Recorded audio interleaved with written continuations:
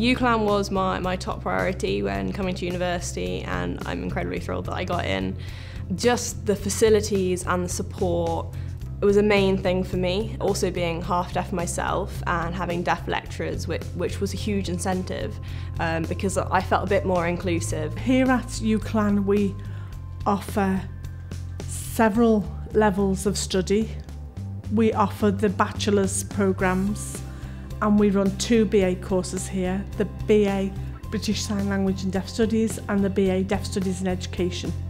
So both of those BA programmes consist of a number of modules that students will take and sign language training is incorporated into some of those modules. Once our students have done the 18 modules, um, which, which contain theory theory modules too, not just sign language training. So we look at the linguistics of BSL, for example, and other issues around deaf studies and deaf culture that are relevant to the course.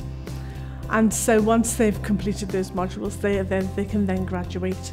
So I teach a number of those modules and um, we also run the other degree, which is in, com in combination with the education department. So the Deaf Studies and Education programme that we run um, contains similar modules, but then additional modules pertaining to education specifically.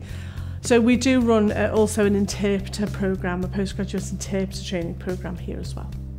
I absolutely love the way that we run our BSL lectures and how we learn the language.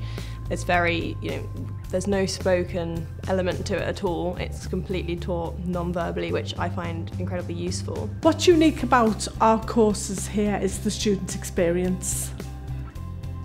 We understand the student needs here and that's why we offer a range of modules that allows them to select optional modules that is all, almost allows them to tailor the degree towards their own aspirations and towards their own strengths as well.